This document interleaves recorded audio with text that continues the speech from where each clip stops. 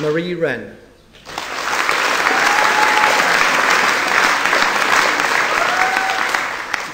Tracy Yarwood.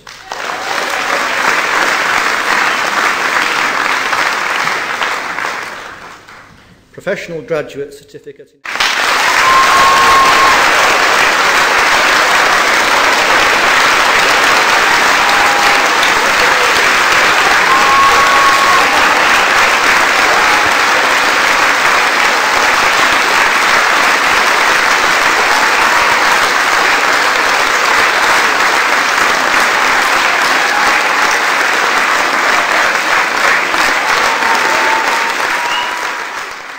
Ladies and gentlemen, I don't want to get between you and the party for much longer, uh, but just let me say how proud the university is of these graduates.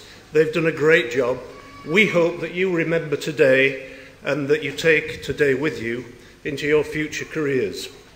Edge Hill is a very special university. You'll have gathered from today's events that we are very proud of it.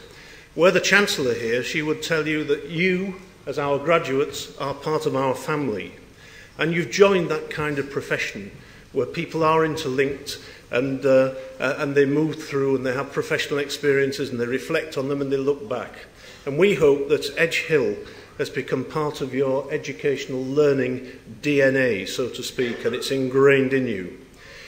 You are the best that there are entering the profession.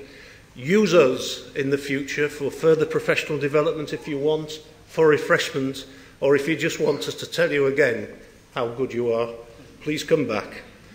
Don't let anyone tell you that you can't do things if it's the right thing to do. Always ask the question, what would it look like if I could do it?